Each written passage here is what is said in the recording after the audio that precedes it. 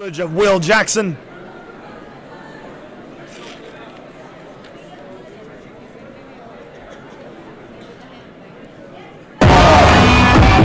One of the top ranked CMX Forms competitors in the world in this age division, taking the stage with some swagger.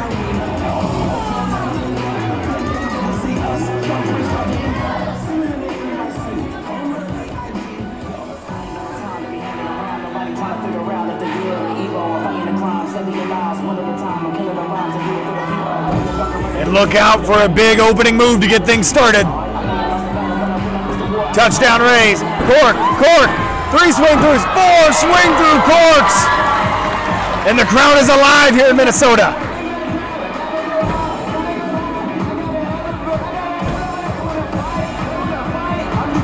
One thing that impresses me so much about Judah is watch when he gets into this opening hand combination. Not only does he have the tricking, but look at the basics, the extension on the hand techniques, complementing it with some nice stances, and then right back into the tricking. Cartwheel double full to the knee. Very high level of difficulty.